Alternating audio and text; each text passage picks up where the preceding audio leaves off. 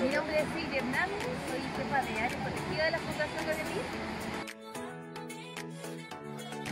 Es una alternativa que no se da en esta comuna generalmente donde vengan instructores especializados y con años de experiencia enseñar a los niños a, aprender a hacer ese deporte, también a enseñar otro tipo de, de habilidades que se tienen que tener en la vida en general, a saber sobrellevar problemas, situaciones, a relacionarse también con el medio ambiente y con la naturaleza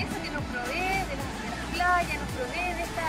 de estas actividades que nos permiten entendernos, a los niños salir de la rutina de su casa, del encierro por el, cual han, estado expuestos.